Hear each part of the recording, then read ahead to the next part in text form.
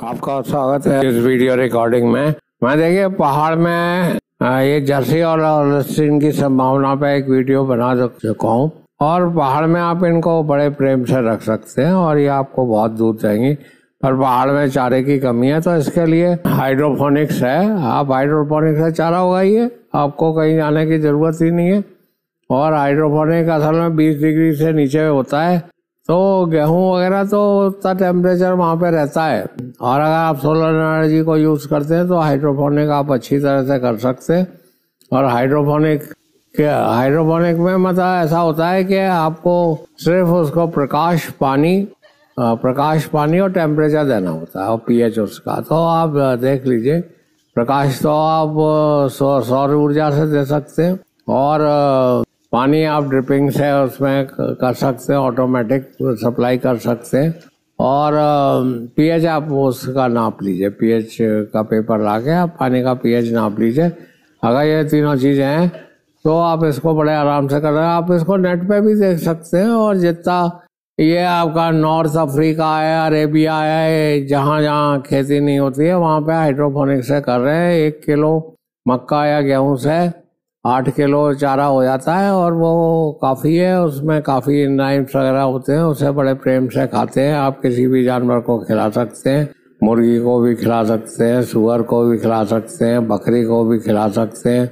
इसमें थोड़ी सी problem fungus लगने की होती है और चूहों की होती है, चूहे बड़ी जल्दी लग जाते हैं तो उसका आप इलाज कर लीजिए। फंगस का तो ऐसा है कि फंगस के लिए अब डोमैक्स आता है, अब आता है, उसमें पहले अपने बीज को भिगाइए और उसके बाद उसको काफ़ी धोइए, उसके बाद करिए तो आपको फंगस, उसमें फंगस नहीं लगेगा। दूसरी बात, चूहों से बच, बचने के लिए। अब वो चूहों से बचने के लिए तो काफ़ी कायदे हैं, पर वो एक जानवर होता है, वो चकोर होती है, गिनी गिनी फाउल। गिनी फाउल की तस्वीर यहाँ पे आप देख सकते हैं और नेट पे भी देख सकते हैं। अगर आप कुछ गिनी फाउल रख लेंगे तो वो सारे चूहे और सांप जो है उसमें से खा लेंगे। तो उसका बायोलॉजिकल कंट्रोल हो जाएगा। अगर चूहे को मारने के लिए आप कोई और दवाई रखते हैं तो उससे आपका मतलब कहीं पॉइजनिंग हो सकती है। देखिए, ये मैंने भारतवर्ष में कई जगह कराया है। एक बिहार में है, रजत गुआ जी, वो करते हैं इसको। मैं उनका नंबर दे रहा हूँ। Seven six six seven five one seven two six eight. Rajat गुआ जी हैं। इनसे आप संपर्क करिए। ये करते हैं ये बहुत ज़्यादा सेटिस्फाइड है और ये तीस डिग्री पे भी कर रहे हैं। ये मक्का उगाते हैं मक्का तीस पे उग जाती है और गेहूँ और जो बाजरा वगैरह है वो बीस पे करीब तो पहाड़ों में तो इसकी बहुत ही मतलब ज़रूरत है और आप इससे बकरी पालन और गाय पालन कर सकते हैं। आप हाइड्रोपोनिक में मेरे वीडियो भी हैं, वो भी देख सकते हैं। और आपसे निवेदन यह है कि आप सब्सक्राइब करिए तो मैं करीब करीब रोज ही वीडियो बनाता हूँ।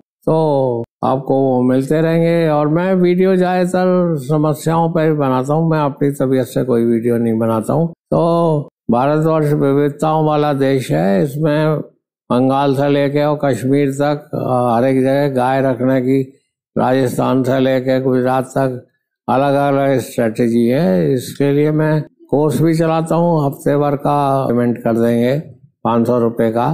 तो आपका रजिस्ट्रेशन ऑटोमेटिकली आप हो जाएगा मंडे से। और आप उसके बारे में डेमोस्ट्रेशन क्लास के लिए आप मुझसे जो है, वो बात कर सकते हैं। मेरा telephone number eight nine seven nine seven four eight six eight six है। धन्यवाद, आपने सुना।